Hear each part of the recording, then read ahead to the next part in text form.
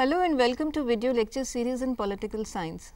Today we are going to discuss chapter 2 titled as freedom from your 11th class textbook political theory. For understanding we have divided this chapter into four parts. We have already started this chapter by understanding what is meant by freedom and we have taken some example of prominent personalities such as Nelson Mandela, Suu Kyi and Mahatma Gandhi and we have discussed how these people laid down their lives for the value of freedom. Today we will discuss what freedom means or how do political scientists define freedom. Let's begin. Simply stating, freedom is a condition which enables individuals to develop their potential and capabilities without any fear or constraints. Freedom is understood as absence of constraints upon an individual's thought or action. It means to have minimum restrictions placed upon the individuals so that they can make their choices freely and act according to their will. A free society is one that enables its individuals to pursue their interest without any fear or restraint. Freedom is autonomy, that is, to decide about one's own destiny. But total or complete absence of constraint can also lead to chaos, anarchy or disorder in society, which can lead to lawlessness. That is, there is no law prevailing or people are not bound by any law. Everyone does whatever he or she feels like. No individual living in a society or who is part of any society can hope to enjoy complete absence of any type of restriction or constraints. Today we will discuss why do we need constraints and what are the various sources of these constraints in society. Now, let us understand what do we mean by constraints. Constraints or restrictions are limits placed upon an individual that are imposed by either family, group, elders, community, association or by any other social organization which you are a part of or which an individual is part of. When we talk of constraints, it is important to differentiate between which social constraints are justified and which cannot be justified. That is, what sort of restrictions are acceptable and to what extent and which are to be done away with which are not necessary in society. In order to understand which social constraints or limitations are necessary and to what extent, it is important for us to look at the relationship between the individual and the society or the relationship between the individual and the group, community or state which he or she is part of. Locating the individual within society helps us to analyze in what areas of life or spheres individual has the freedom to choose, decide or act and what are the spheres where he cannot decide about his life or his actions. It is also crucial to analyze which features are desirable and which are not and should be removed and which should not be removed or continued with. For example, among Hindus, whom to marry and whom not to marry is determined according to one's caste community. So, this is the sphere where others decide about you or are you allowed to, allowed to decide about yourself. The nature of constraints, the degree of restrictions placed upon the individual and the prevailing set of rules and regulation may be seen as curtailing freedom of choice of an individual. For example, the case of whom to marry within the caste community. But at times, these are necessary for general security and order in society.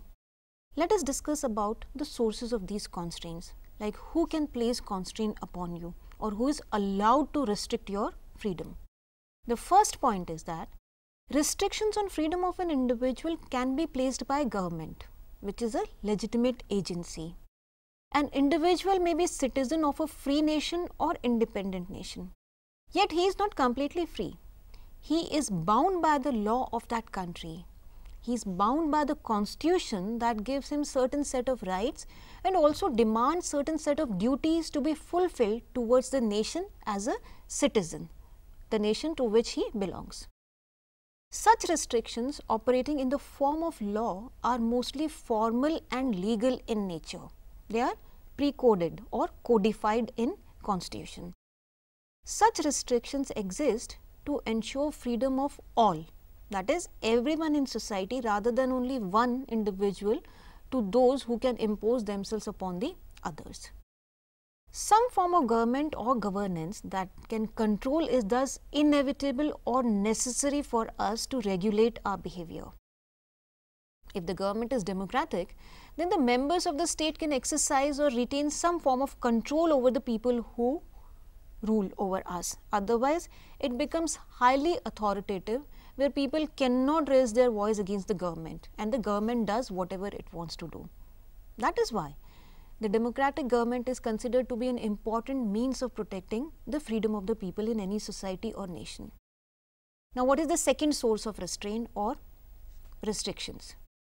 Restrictions on freedom of individual can also come from domination and external control, such as restrictions may be imposed by government through laws which are backed by force. Now, what is the difference between the first and the second? As against the sovereign government of a nation, the constraints by the foreign rulers are severe and often backed by ruthless force and coercion. We have seen that ruthless force and coercion imposed by the British on Indians on many of the social, economic and political rights of the individual which were not given to people in India under the British rule. Let us discuss the third source of restraint. Apart from the government sanction, constraints on freedom can also come from social institutions or prevailing economic inequality in society. For example, caste system. Caste system categorizes people into different social strata placed in a hierarchy one above the other on the basis of ranking.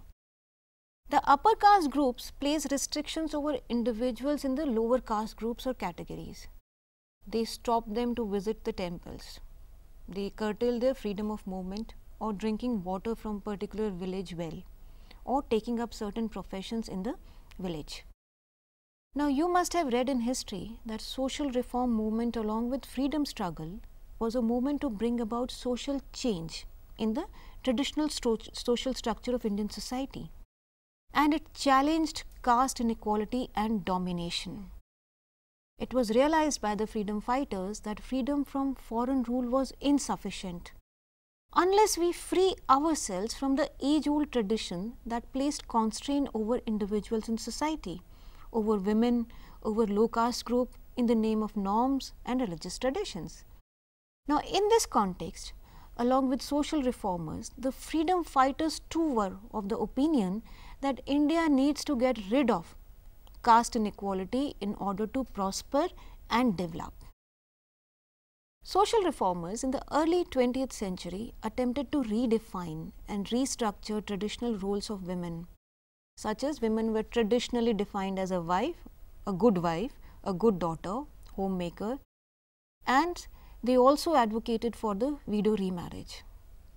It was seen as crucial for nation to become modern but also retain its ancient heritage by having a self-conscious pride in Indian culture and tradition. Even after independence, our constitution was designed to give people equal rights. It was based on the principle of social justice. You must be knowing that preamble of Constitution of India starts with these words, we the people of India. These words have immense constitutional and political significance they mean that people are the source of the constitution, we the people, we together make it. It is the people of India who are the makers of the constitution. It is also implied that there is a popular sovereignty in India and everyone is equal and is given the same set of rights in our society. Now, let us elaborate a bit on the preamble. The preamble states that we resolve to secure to all its citizens that is give all its citizens number one justice, justice which is social, economic and political justice. It secures liberty, liberty of what? Liberty of thought, expression, belief, faith and worship that is guaranteeing this justice and liberty to all. Further, the preamble talks of equality. Equality again of what? Equality of status, and opportunity and promote this equality of status and opportunity among all the members in society irrespective of their caste, economic, social or any other affiliation. And finally, it talks of fraternity that is assuring the dignity of the individual and the unity and integrity of the nation. Combining the opinion of the social reformers and freedom fighters, it would be interesting to note what Subhash Chandra Bose said during the presidential address he delivered at the students conference held at Lahore on 19th October 1929. What did Subhash Chandra Bose say? He said that if we are to bring about a revolution of ideas, we have first to hold up before us an ideal which will galvanize our whole life. Galvanize means the change our whole life. That ideal is freedom. But freedom is a word which has varied connotations. Connotations means meaning. Even in our country, the concept of freedom has undergone a process of evolution. By freedom, I mean all around freedom. That is, freedom for the individual as well as for the society, freedom for the rich as well as for the poor, freedom for men as well as for the women freedom of all individuals and for all classes. This freedom implies not only emancipation from political bondage, he is talking about the British Raj in this context, but it also means equal distribution of wealth, abolition of caste barriers and social inequities and destruction of communalism and religious intolerance. Now, let us see why do we need constraints in a society after understanding that how important is freedom both from traditions and from the foreign rule. So far we have discussed that freedom means an act or to act without any restriction or limitations. But it is equally true that we cannot live in a world or society where there are no constraints it might sound confusing that on one hand we talk of freedom and on the other we talk about placing restrictions, but let us clarify through some discussion. We need some constraints or restrictions or rules to regulate behavior of people in society. Otherwise, society will descend into chaos. These constraints can be laws or rules governing our behavior in everyday life. Prescribed by governmental agencies, groups, association communities or families. These, these rules or regulations govern our behavior. A child in a family is governed by the norms or rules of the family. He acts in accordance with these rules and these rules act as a constraint on his behavior and he remains in discipline.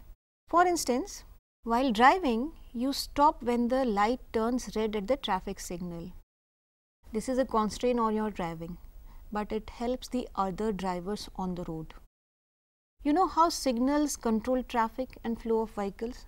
Otherwise, there will be utter chaos on roads and nobody will be able to move anywhere. In the similar fashion, differences among people exist over ideas, ambitions, control of scarce resources and many other things. People have disagreement over issues of any type, from trivial to very serious matters. People can fight over parking spaces, over small piece of land or property. Some people may raise issues pertaining to screening of certain films or documentaries which they find offending. You name it and you will find people having conflict or clash of ideas of, over almost everything that you can imagine. At times, these conflicts stretch over a long period of time and they also become violent in nature. So, in such a case, every society needs some mechanism to control such conflicts, violence and settle the disputes between people. Had there been no disagreement among people over any issue, big or small, there was no need of constraints. But rules are important for regulating behavior of people and minimize conflicts among them.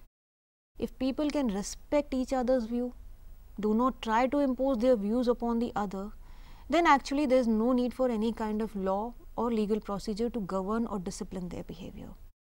The need emerges only because people tend to think their choices are better than others and they try to impose their choice upon the other people. Ideally speaking, in a free society, people must hold free views. they must have ability to develop their own rules of living and pursue their choices. But this type of free society can exist only when there are some basic minimum rules governing these societies and people's behavior.